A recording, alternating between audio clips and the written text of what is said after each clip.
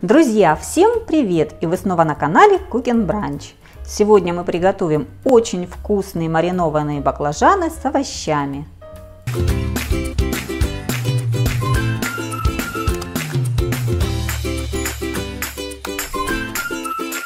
Всем привет, дорогие мои зрители! Как всегда, рада видеть вас на своем канале. Сегодня мы будем готовить очень вкусное блюдо из баклажанов, маринованные баклажаны с овощами. Сразу сохраняйте этот рецепт, потому что будете готовить еще не раз для своих и близких. Блюдо это заходит на ура, поэтому мы берем 600 граммов баклажанов. У меня три штучки среднего размера.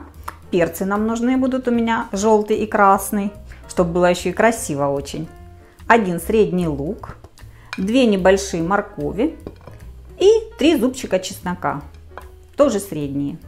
Первую очередь нужно будет нарезать баклажаны. Отрезаем плодоножку.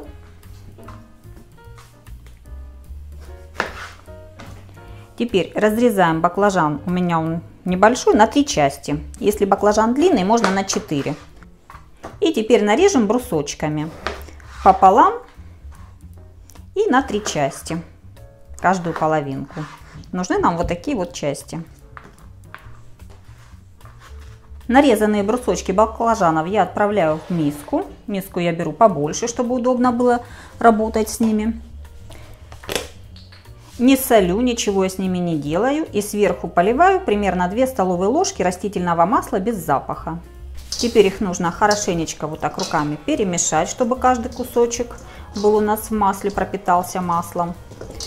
Ну не так, чтобы пропитался, а сверху масло у нас должно быть. И выкладываем на противень. Противень я уже заранее застелила пергаментной бумагой. И вот так аккуратненько распределяем.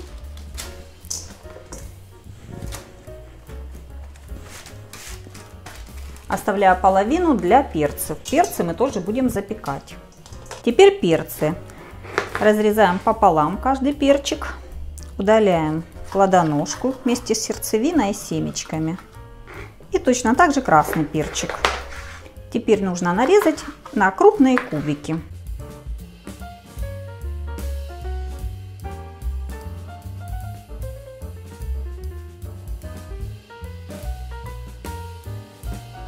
Нарезанные перцы мы также отправляем в миску.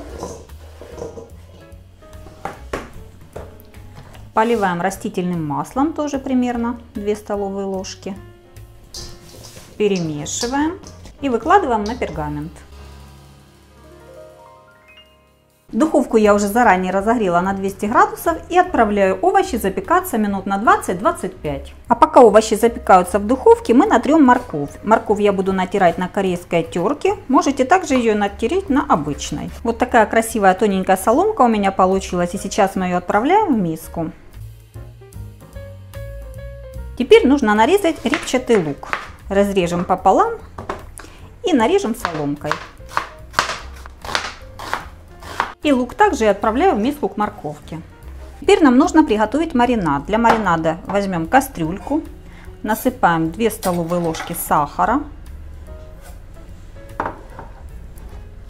2 столовые ложки уксуса, у меня 9%,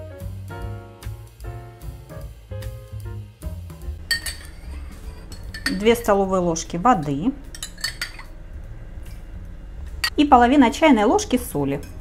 Теперь включаем огонь и помешивая доводим наш маринад до кипения.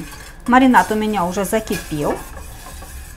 Сразу же сюда добавляем 2 столовые ложки растительного рафинированного масла. Выключаем огонь и убираем с печки.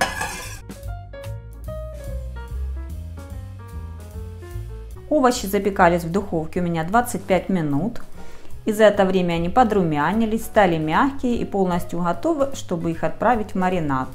Сейчас я их перемешаю немножечко и отправлю в миску.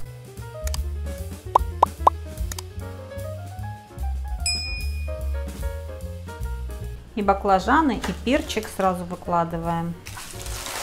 Овощи замечательно подпеклись. Вот какие они у нас красивые таким бачком румяным. Сразу же заливаем горячим маринадом и через чесночный пресс выдавливаем чеснок. Вы не представляете, как это ароматно уже пахнет. Вкуснотища необыкновенная сейчас получится у меня. Я беру чесночок примерно из расчета на один баклажан, один зубочек чесночка. Но если вы любите больше или меньше, регулируйте по своему вкусу. Овощи я солить не буду, так как я посолила маринад, там уже присутствует соль. Но если также вам мало, можете подсолить еще. Теперь эту всю красоту и вкусноту размешиваем. Овощи у меня еще горячие, поэтому я их оставляю до полного остывания в этой миске. Потом их нужно будет э, переложить в более удобный контейнер пластиковый или стеклянный, какой у вас есть, и отправить в холодильник мариноваться. Я обычно делаю закуску эту с вечера, а утром мы уже ее кушаем. Овощи у меня промариновались 3 часа, и теперь я их буду пробовать. Так, перчик накалываем, баклажанчик, чтобы и морковочка, и лучок. Вот, и сразу все пробуем. Очень вкусно, очень сочно. Овощи такие слегка хрустящие. Они целенькие, не развалились у нас. Пропитались маринадом. Маринад остренький, кисло-сладенький. Чесночок еще придает особую тонкую нотку нашему блюду. Очень вкусно. Очень вкусная закуска. Такую закуску можно хранить в холодильнике ну, я думаю, дней 5 точно. Но вряд ли она у вас задержится 5 дней. У нас она улетает за день. А так, если гости пришли, вы сразу картошечку отварили, котлетку поджарили, закусочку застали. И вот вы уже прекрасная хозяйка, мама и жена. И если вам понравился мой рецепт, предлагаю подписаться с колокольчиком, чтобы не пропускать много интересных рецептов, поставить мне лайк, поделиться с друзьями. А я с вами прощаюсь до новых вкусных рецептов. Всем пока-пока!